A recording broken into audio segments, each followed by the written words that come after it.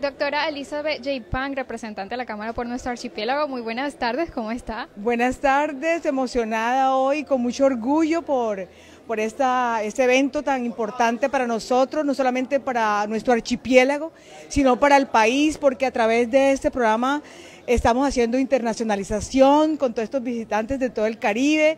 Estamos promocionando además nuestra cultura y las cosas que desde las islas se pueden hacer. Entonces me parece que estoy muy orgullosa, me siento muy contenta de estar aquí, de poder participar y quiero felicitar a la autora Emiliana por ese trabajo tan fuerte que ha hecho en el canal, a cada uno de los integrantes, de los miembros de cada uno de los programas, de los administrativos, porque yo sé que detrás de Emiliana está mucha gente que también trabajan precisamente para poder tener el nivel que estamos adquiriendo. Los exhorto a que sigamos trabajando, porque de, esa forma podemos demostrarle al país eh, cómo nosotros aportamos a las competencias que debe tener Colombia a nivel del Caribe.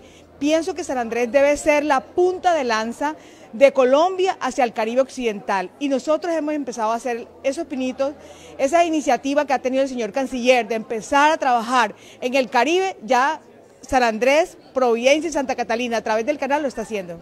Claro que sí, doctora Elizabeth. Una invitación para que todas las personas puedan ver y que sigan siempre ayudando y aportando a lo contenido de nuestro canal que siempre busca mostrar la cultura. Sí, eh, una invitación total a toda a todo Colombia, a nuestra región, a los jóvenes eh, de esta forma nosotros podemos hacer sostenible nuestra cultura, mostrar las, las, cosas que desde San Andrés podemos nosotros hacer a través de nuestro idioma, a través de nuestras costumbres, a través de nuestra culinaria, entonces eh, nuestros paisajes, en fin, todo lo bello de San Andrés lo podemos mostrar a través del canal y yo esto va a ser una, una, una, buena oportunidad para nosotros promocionar el archipiélago de San Andrés, Providencia y Santa Catalina.